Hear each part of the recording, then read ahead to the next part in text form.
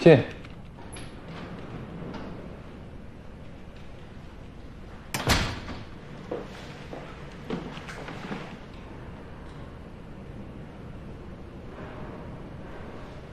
我看了林大爷的案子，觉得不属于医院的责任，我会从今天开始对大爷进行劝退。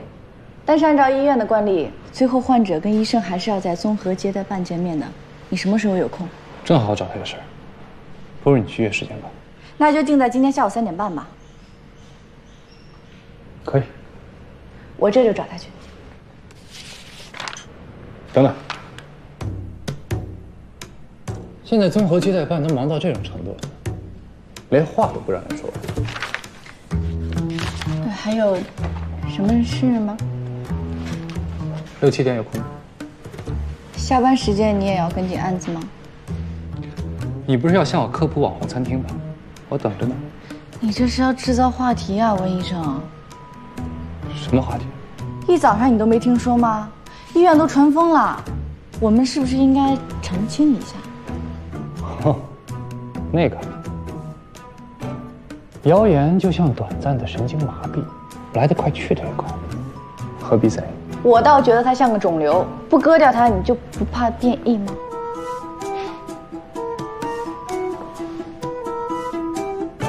进步啊，都能用医学术语决了。我可没开玩笑，我还是个新人，让大家误会我们不好吧？你不该去解释清楚，并且与我保持距离。我不觉得我们需要保持距离，我不同意。但是，但是如果你坚持的话，我可以帮你这一次，替你去结束这个谣言。真的吗？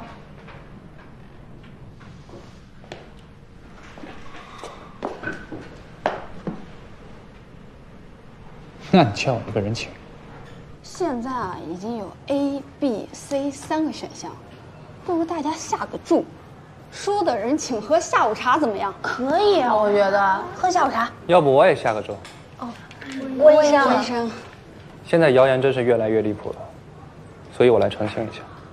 所以答案是从容了。不是，不是，没有。没错，就是他。哇，到底在胡说什么啊？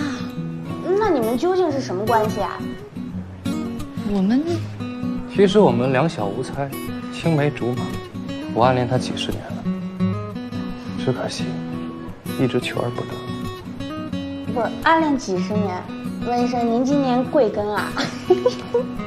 温医生不愧是温医生，连辟谣都那么有新意。嗯，散了吧，嗯散了吧，散了吧，散了吧。你这人是不是有毒啊？现在不是没有谣传了吗？你认真的吗？你觉得呢？